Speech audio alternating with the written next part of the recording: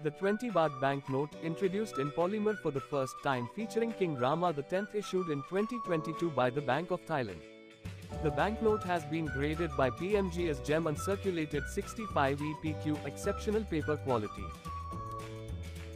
Dr. Sethaput Suthiwartnarueput, the governor of the Bank of Thailand, unveiled the new 20 baht polymer banknote, which is scheduled for launching on the 24th of March 2022.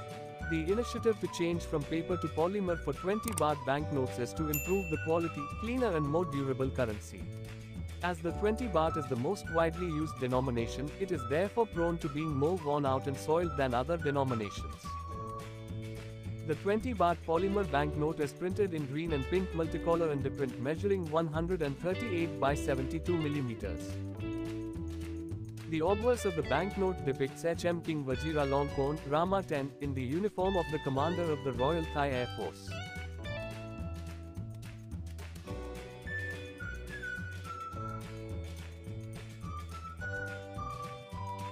The reverse of the banknote features King Rama I, Phara Buddha Yodfa Chulaloke the Grand Palace establishment of Bangkok's capital.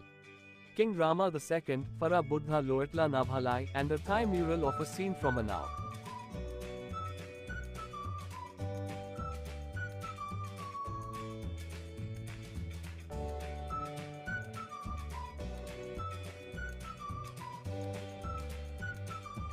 PMG Paper Money Guaranty was founded in 2005 as a fully independent third-party paper money grading service.